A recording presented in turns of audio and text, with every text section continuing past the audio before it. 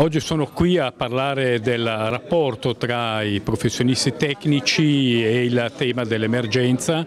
esemplificato soprattutto da questa iniziativa Diamoci una scossa promossa dalla Fondazione Inarcassa, che è la Cassa di Previdenza di Architetti e Ingegneri e fortemente condivisa e sostenuta dai rispettivi Consigli nazionali Architetti e Ingegneri. È un progetto sperimentale che vuole riportare al centro delle comunità il ruolo e il valore delle professioni tecniche, in particolare appunto architetti e ingegneri,